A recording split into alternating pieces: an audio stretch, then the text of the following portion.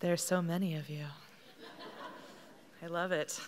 Very excited to come out tonight to talk to you about my favorite topic in the whole world, which is puppets. Maestro, if you would. The number one question I'm asked is How did you get into puppets? My face usually looks like the green guy here. While there was a time I didn't build and perform puppets, there's never been a time that I wasn't into puppets. And I'd be willing to bet that you are also all into puppets too. For example, can you help me complete this song?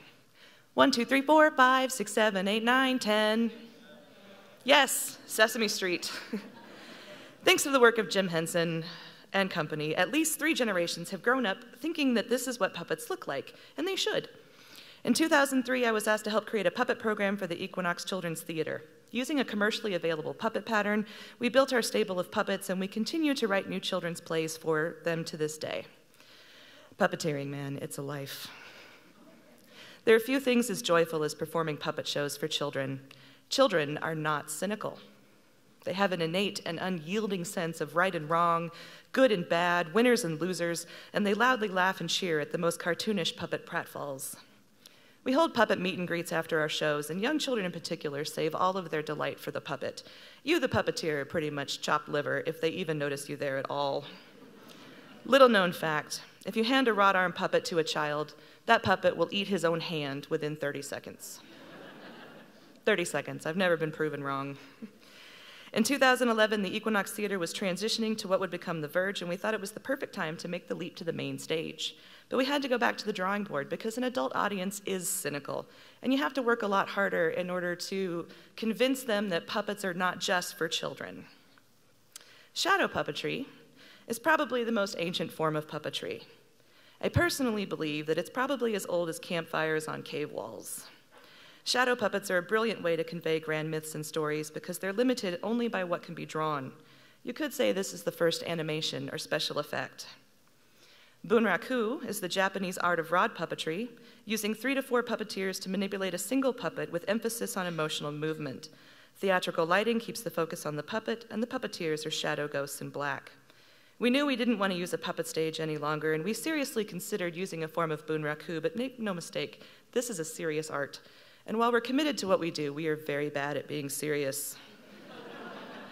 we considered the Renaissance art of glove puppetry, such as Punch and Judy shows.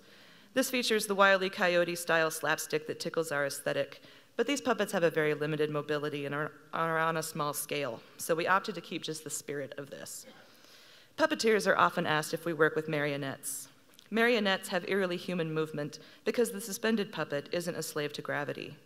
To paraphrase a famous essay on marionette theater, the force lifting the puppet is always greater than the force that draws it to the ground, which gives the puppet unworldly grace. Many have theorized that puppets capture human attention because they are uncanny. That is, they are approaching human, but not quite there.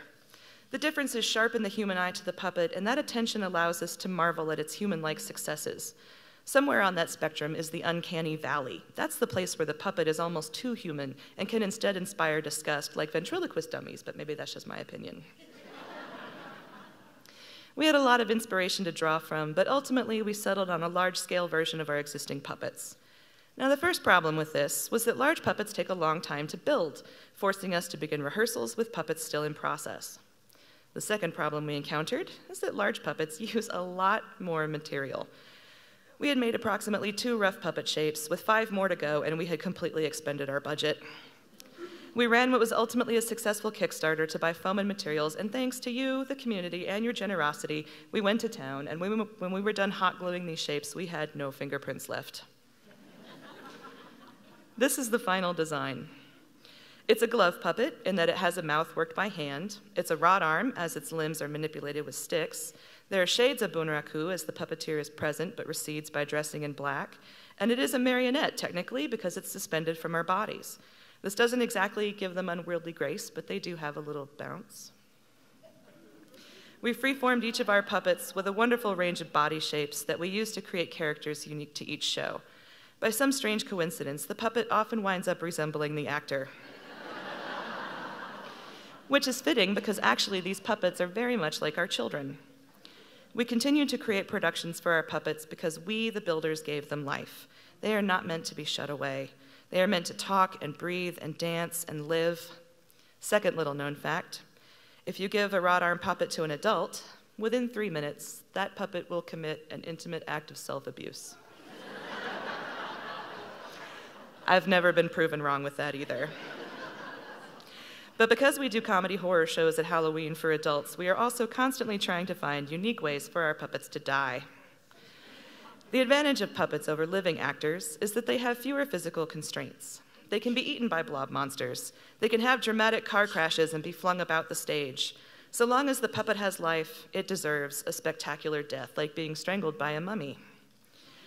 While we do our best with dramatic lighting, a puppet murder is usually more hilarious than scary. We call our shows PG 13.